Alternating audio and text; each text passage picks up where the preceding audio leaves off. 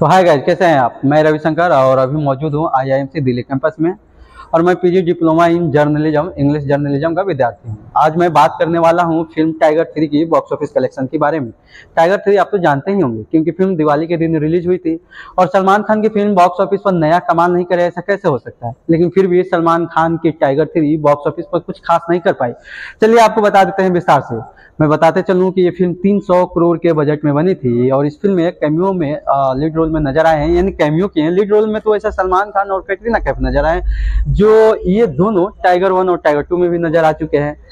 शाहरुख खान की कैमियो होती है लगभग पंद्रह मिनट की। इससे अनुमान लगाया जा रहा था कि जब शाहरुख खान कैमियो करेंगे टाइगर थ्री में और सलमान खान की फ़िल्म होगी तो एक अच्छा और नया रिकॉर्ड बनाएगी। लेकिन ये फ़िल्म लग रहा है कि न रिकॉर्ड बना पाएगी और न ही नाम कमा पाएगी।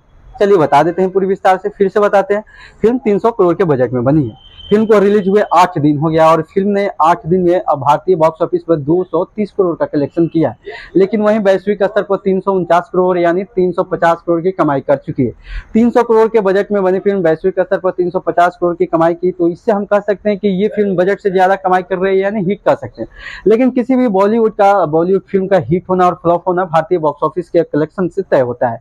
तो भारतीय बॉक्स ऑफ़िस कलेक्शन के अनुसार फ़िल्म ने आठ दिन में दो सौ तीस करोड़ का ही कलेक्शन किया है। तो अनुमान लगाया जा रहा है कि धीरे धीरे रफ्तार फिर पकड़ेगी और हो सकता है कि अपना बजट निकाल ले।